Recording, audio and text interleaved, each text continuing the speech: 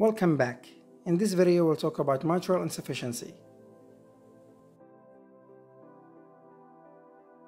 The murmur is holosystolic, just like tricuspid insufficiency and ventricular septal defect. These three are the only known causes of holosystolic murmur. So if you ever heard the word holosystolic in the exam, it has to be one of those three. It's a systolic murmur, so it has to be between the first and second heart sounds. And hollow means constant. To better appreciate the murmur, place the stethoscope at the apex of the heart. And here's what it sounds like.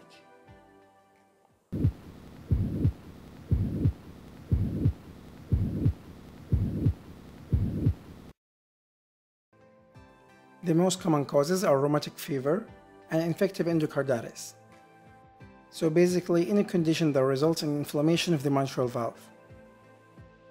Very commonly mitral regurgitation results in mitral stenosis later on, due to calcification of the once inflamed valve. Papillary muscle rupture can also cause acute mitral regurgitation.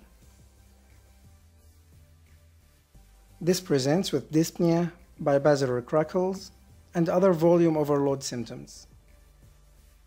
Mitral insufficiency causes high filling pressure in both the atria and the ventricle. Later on, this increases the size of the ventricle and atrium with increased compliance. If this is untreated, it will cause left ventricular dilation, which is irreversible. The treatment is simply volume reduction with ACE inhibitors or angiotensin receptor blockers.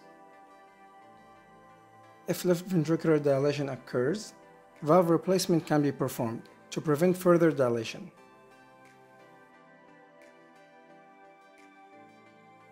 As with all cardiac murmurs, transthoracic echo is the initial test, transesophageal echo is better, and catheterization is the most accurate test.